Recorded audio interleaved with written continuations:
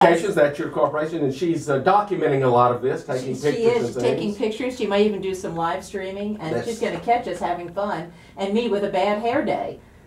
See, if you got hair like mine, they're all bad, so you just It's get all bad, used but to at least you got some. You know What how many you- men your age have none. I know. I It's took my dad to the doctor the other day, to his gerontologist, and he's upset because he can't remember people's names. He's 92. Oh. And he's upset because he can't remember people's names. And, oh, and the doctor said, Do you know how most people your age are? And dad said, How? He said, 10 years dead.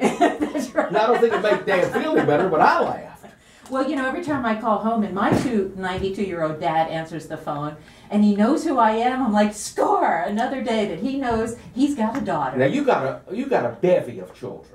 I have I mean, only. you got the Catholic brood, right? I do. Four, two of each? You know, God bless me. Every time my husband sneezed, I got pregnant.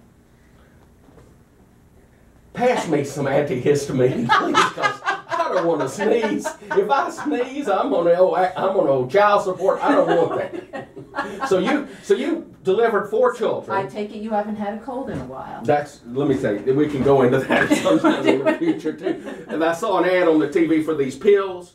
You know, you can get them in the single packs now. Mm-hmm. I don't need the pills. I need opportunities. There are no pills for that. They don't make them. See, on the commercials, they just present. The know, girl's what- there, and Yeah, she's already ready there, and kind she's of waiting. desirable. too, and she's hot. See, that's fiction. You know, they don't have. That's fiction. They don't have these women that you see on Match.com that you go, oh, ouch, right? Oh, you should get on Plenty of Fish. Oh, is that worse? Really? Yes. I'm, Oh. I'm, it- let me say this. I've been favorited by more grandmothers. Why is it that everybody my age looks older than me? Now wait a minute. Watch your language, because I'm a grandmother now. I have a two and a half year old. Well, let me say, most of them don't look like you. Most of them look like Martha Washington.